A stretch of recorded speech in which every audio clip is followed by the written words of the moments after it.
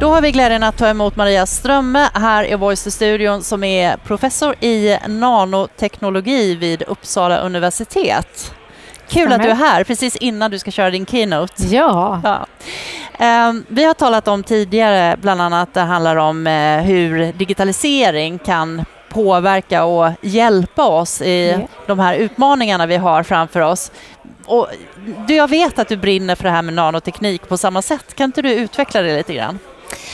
Jo, men jag ser att digitaliseringen det är ju slutet på datorrevolutionen. Det är liksom det sista vi har att skörda. Och vi har ganska många år kvar av saker att skörda. Men samtidigt så har ju nanotekniken börjat driva nästa industriella revolution. Och, eh, som jag kommer att berätta om i mitt föredrag så ser jag att nanotekniken, nästan all nanoteknikforskning handlar om att försöka lösa de stora problemen som mänskligheten står inför, eller de stora utmaningarna. Mm. Och den allra största är att klara av en långsiktig hållbar energiförsörjning energiförsörjning. Mm. Vi måste klara energin, för annars klarar vi inte rent vatten och mat.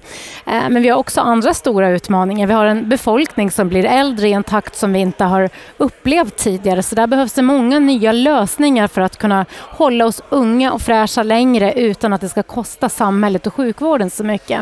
Men eh, kan du förklara så att eh, jag förstår? Ja. Hur kan nano, vad är det som gör i nanotekniken? Men till exempel att, om, du, om du har en åldrande befolkning. Dels så vill du försöka hitta material som enkelt kan tillföras kroppen så att kroppen kan hålla sig ung längre. Vi kommer inte att ha råd med dyra höftledsoperationer eller människor som lider av eh, artros, blir stela på grund av att brosket blir dåligt. Så hur kan vi med nya material som enkelt kan tillföras kroppen få kroppen att fatta att den ska börja laga sig själv? Ah. Väldigt enkelt, billigt, utan transplantationer. Det är ett exempel. Mm. Hur långt är vi från att det här blir verklighet för sådana som du och jag? Ja, inte så väldigt långt. I vissa typer av mänsklig vävnad kan vi redan idag göra så här. Ben till exempel. Men det, vi har lite längre innan vi kan skapa nya hjärtan och nya hjärnor till exempel. Men jag ser att material tas fram som, som gör att det här kommer. Och samtidigt så ser vi också en väldigt spännande kombination med IT och nanoteknik vad gäller till exempel diagnostik. Mm. Eh, för att när vi blir äldre så fort så gäller det att vi vet vilka risker vi står inför och då behöver vi utveckla nya eh, diagnostiseringsverktyg och då ser jag också att digitalisering behövs. Vi behöver kunna, våra nya diagnostiska enheter måste kunna kommunicera med vårdcentraler och läkare på andra sätt än vad, mm. vad man gör idag. Mm.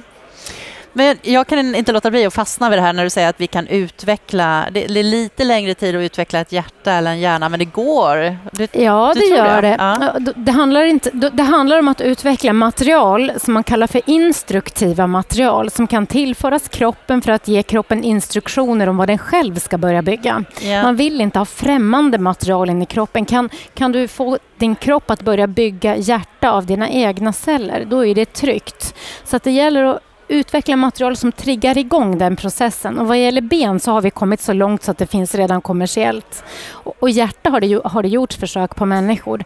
Hjärna har det inte gjorts försök på människor men där börjar vi i labb se att vi kan göra. Så att det kommer att gå. Det kommer att ta olika lång tid för olika typer av vävnader. Men det är mycket spännande forskning som pågår på det här området just Verkligen nu. Verkligen superintressant. Eh, vad jag undrar liksom, eh, du har ju kommit så långt i din forskning, men om vi skulle tänka oss att vi har unga människor som tittar på det här och mm. står inför och liksom bara, de är jätteintresserade av vad du håller på med. Mm. Vad, vad, vad tror du att framtidens forskare ska ha för bakgrund? För bak ja, eh, jag tror att väldigt många olika typer av bakgrund ja. behövs. Så tittar jag i mitt eget område så ser jag just det, för nanoteknik är ju inte ett specifikt område på det sätt som fysik, kemi och IT.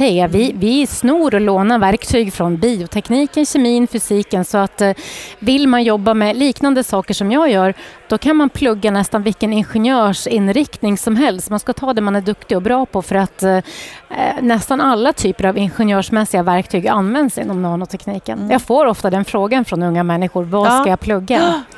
Så Kul. mm. Ja, det ska bli jättespännande att lyssna på dig. Tack så jättemycket. Tack.